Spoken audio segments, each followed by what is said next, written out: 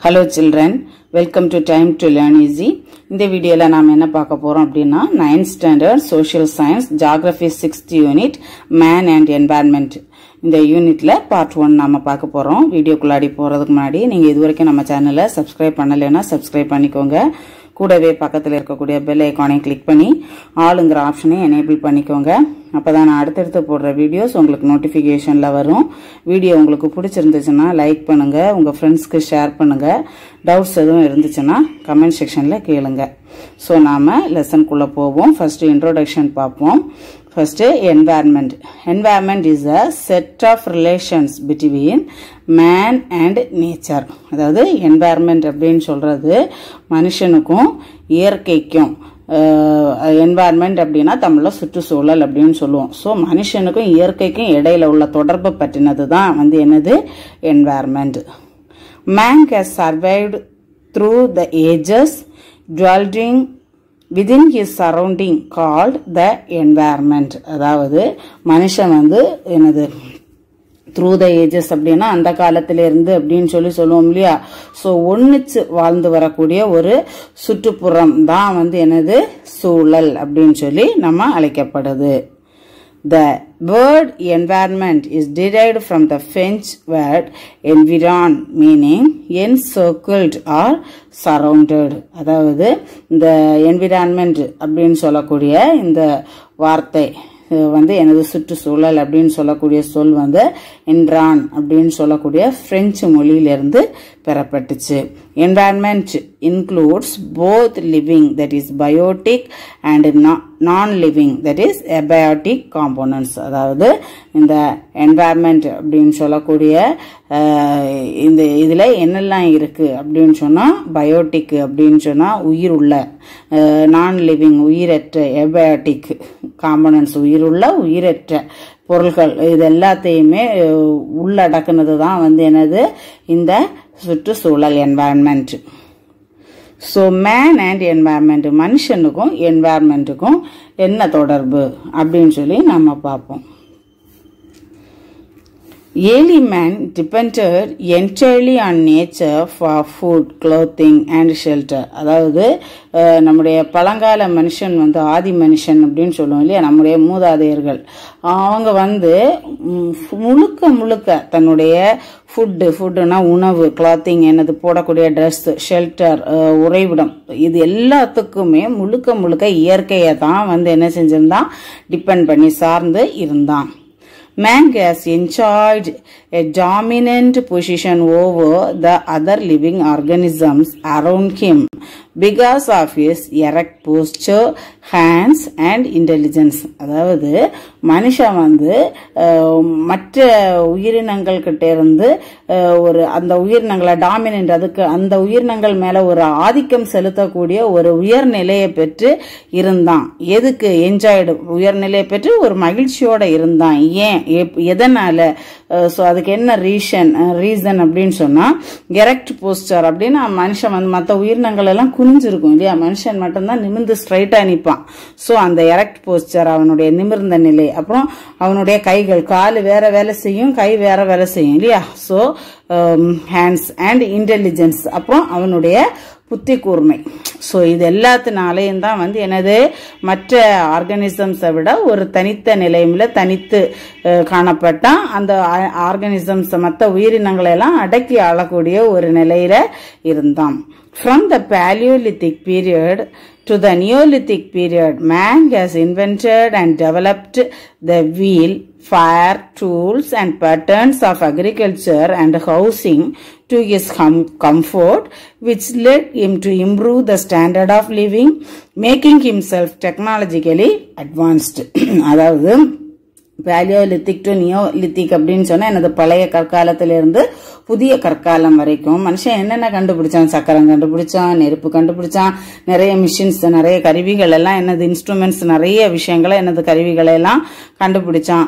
அப்புறம் வேற என்ன விவசாயத்துக்கு தேவையான பொருள்களை எல்லாம் கண்டுபிடிச்சான். அப்புறம் செட்டில்மெண்ட்ஸ்னா என்னது அவன் எப்படி வாழ்றது வாழ்றதுக்கு வீடுகள் டிசைன் டிசைனா வீடுகள் எல்லாம் கட்டுறதுக்கு எல்லாம் என்ன செஞ்சான்? கண்டுபிடிச்சான். சரியா?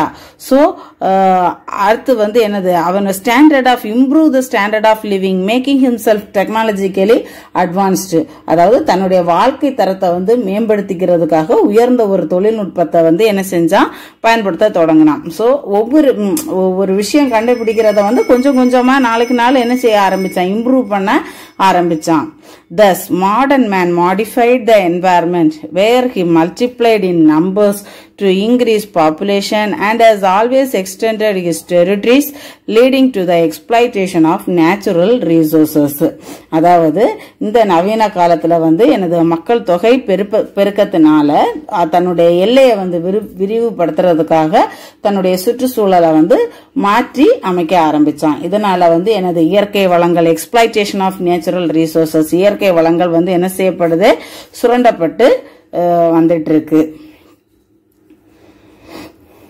the Stockholm conference seventeen nineteen seventy two அதாவது 1972ல ஸ்டாக்ஹாம் கான்ஃபரன்ஸை பற்றி பார்ப்போம். So declared man as both a creator and moulder of his his அதாவது ஆயிரத்தி தொள்ளாயிரத்தி எழுபத்தி ரெண்டில் நடந்த ஸ்டாக்ஹாம்ல நடந்த மாநாட்டில் வந்து மனுஷன் சுற்றுச்சூழலை உருவாக்கி வடிவமைக்கிறான் அப்படின்னு சொல்லி அறிவி சொன்னாங்க. The earth summit formally known as the united nations conference on Environment and Development was held in Rio de Janeiro in nineteen ninety two அடுத்து ரியோ டி ஜெனிரியோ அப்படின்ற இடத்துல வந்து நைன்டீன் நைன்டி டூல நடந்த எர்த் சமிட் அந்த மாநாட்டில் வந்து எனது யுனைடெட் நேஷன்ஸ் வந்து எனது conference on environment and development அதாவது சுற்றுச்சூழல் மற்றும் வளர்ச்சி மாநாடு அப்படின்னு சொல்லி சொல்லப்பட்டுச்சு. சரியா? Uh, ஸோ அதாவது எனது நைன்டீன் செவன்டி டூவில் ஸ்டாக்ஹாம் கான்ஃபரன்ஸ் நடந்துச்சு என்வாயர்மெண்ட்டை குறித்து நைன்டீன் நைன்டி டூவில் யுனைடெட் நேஷன்ஸில் வந்து எனது த எர்த் சமிட் அப்படின்னு சொல்லக்கூடிய uh, இன்னொரு இது வந்து எனது மாநாடு வந்து நடந்துச்சு. அதுதான் சொல்லப்பட்டிருக்கு. Then classification of environment environment வந்து எப்படி எப்படி வகைப்படுத்தியிருக்காங்க? Environment is generally classified as natural environment human environment and man made environment அதாவது சுற்றுச்சூழல் வந்து இயற்கை சுற்றுச்சூழல் மனித சுற்றுச்சூழல் அப்புறம் மேன்மேடு சுற்றுச்சூழல்னா என்னது மனுஷனால் உருவாக்கப்பட்ட சுற்றுச்சூழல். ஸோ இதை நீ பார்த்தா தெரியும். Components of environment natural human manmade இல்லையா? ஸோ நேச்சுரலில் பார்த்தீங்கன்னா இயற்கையில் எனது லேண்ட் ஏர் வாட்டர் கிரியேச்சர் இதெல்லாம் இருக்குது ஹியூமனில் பார்த்தீங்கன்னா individual family family political economic education religion community இதெல்லாம் வருது.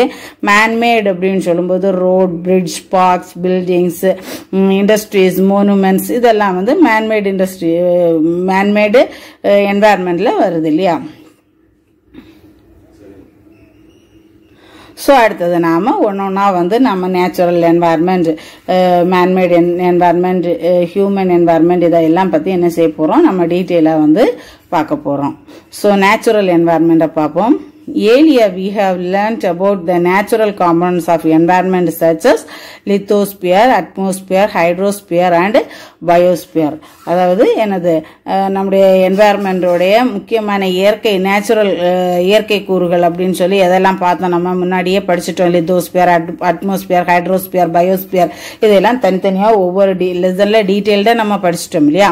In this chapter we will study about the human and man made components in a detailed manner so இந்த லெசனில் வந்து நம்ம மனுஷனை பற்றி மனுஷனால் உருவாக்கப்பட்ட காம்பனன்ட்ஸை பற்றியும் தான் நம்ம டீட்டெயில்டாக படிக்க போகிறோம் ஹியூமன் என்வாயர்மெண்ட் பார்ப்போம்.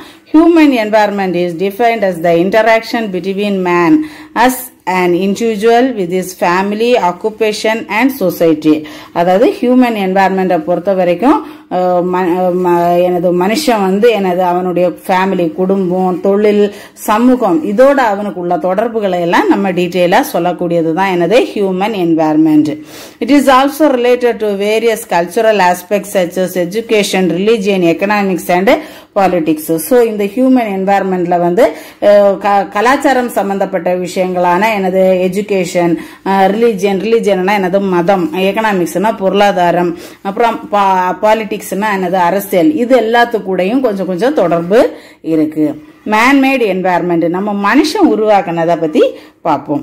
Man made environment has been created by man himself for the purpose of fulfilling his needs and to make his life more convenient and easy அதாவது இந்த மனுஷனால உருவாக்கப்பட்ட சுற்றுச்சூழல் அப்படின்றது என்னன்னா மனுஷன் வந்து அவனுடைய தேவையை வந்து ஃபுல்ஃபில் பண்ணிக்கிறதுக்காக அவனுடைய வாழ்க்கையை வந்து அதுக்கு சாதகமா ஈஸியா அமைச்சுக்கிறதுக்காக வந்து உருவாக்கப்பட்டது தான் வந்து என்னது? இந்த man-made environment. For example building transport, park, industry monument, etcetera so எக்ஸாம்பிளுக்கு என்ன சொல்லலாம்? கட்டடம். கட்டடம் வந்து அவன் என்னது சின்ன வீட்டில் வாழணும் நமக்கு சின்ன வீடே போதும் அப்படின்னு சொன்னால் அதுக்கு தக்கனதாக வைப்பாங்க. இல்லை நமக்கு நிறைய ஃபேமிலி மெம்பர்ஸ் இருக்காங்க நமக்கு பெருசாக வீடு வைக்கணும் அப்படின்னு நினைச்சாங்கன்னா பெருசாக வைப்பாங்க. ஸோ இந்த மாதிரி என்னது டிரான்ஸ்போர்ட்டு ரோடு இந்த ஊருக்கு வந்து இந்த அளவுக்கு ரோடு போதும் சின்னதாக போ- ரோடும் போதும் அப்படின்னு நினைச்சாங்கன்னா சின்ன ரோடு போடுவாங்க. இல்ல இந்த ஊருக்கு வந்து இந்த இடத்துக்கு வந்து இந்த இடத்துல நிறைய வெஹிக்கிள்ஸ் வந்து மூ- போயிட்டே இருக்கிறது. இந்த இடத்துல நாலு வழி சாலை தான் பெஸ்டா இருக்கும். ஸோ இந்த மாதிரி எல்லாம் பண்ணணும்னா அதுக்கு மாதிரி பண்ணுவாங்க. ஸோ பார்க்கு இண்டஸ்ட்ரி மோனுமெண்ட்ஸ்னா என்னது? பெரிய இந்த கட்டடங்கள் எல்லாம் இருக்கு இல்லையா? ஸோ நினைவு சின்னங்கள். ஸோ இதெல்லாம் வந்து என்னது மனுஷன் வந்து யாருக்காக அவனுடைய வசதிக்காகவும் தேவைக்காகவும் உருவாக்கப்பட்டது. To bring and equilibrium between man and the environment man has to study the distribution of population availability of resources development in technology alternate means of fulfilling the increasing demand created by the growing population and other man-made features அதாவது அஹ், மனுஷன் வந்து என்னது to bring bring equilibrium இக்லிபிரியம்னு சொன்னா என்னது ஒரு சமநிலையை கொண்டு வர்றதுக்காக இந்த மனுஷனுக்கும் இந்த என்வாயர்மெண்ட்டுக்கும் ஒரு சமநிலையை கொண்டு வர்றதுக்காக மனுஷன் எதையெல்லாம் பத்தி கண்டிப்பா தெரிஞ்சுக்க வேண்டிய ஒரு கட்டாயத்தில் கட்டாயத்துல இருக்கான் அப்படின்னு சொன்னா எல்லாம் டிஸ்ட்ரிபியூஷன் ஆஃப் பாப்புலேஷன் அதாவது மக்கள் தொகை வந்து எப்படி டிஸ்ட்ரிபியூஷன் மக்கள் தொகை பரவல் அப்படின்னு சொல்லி சொல்லுவாங்க. அதாவது எங்கெங்க இடத்துல எவ்வளவு எவ்வளவு மக்கள் தொகை இருக்குது இதை பத்தி எல்லாம் வந்து என்னது தெரிஞ்சுக்கணும். அவைலபிலிட்டி ஆஃப் ரிசோர்சஸ் எவ்வளவு இயற்கை வளங்கள் இருக்கு. டெவலப்மெண்ட் இன் டெக்னாலஜி தொழில்நுட்பம் எந்த அளவுக்கு வளர்ச்சி அடைஞ்சிருக்கு. Alternate means of fulfilling the increasing demand அதாவது நாளுக்கு நாள் தேவைகள் அதிகரிச்சுக்கிட்டே இருக்கு. பட் அதுக்குள்ள ரீசோர்ஸ் இல்லை. அப்போ வந்து இதுக்கு மாற்று வழி என்ன? ஸோ அதை பத்தி தெரிஞ்சுக்கணும்.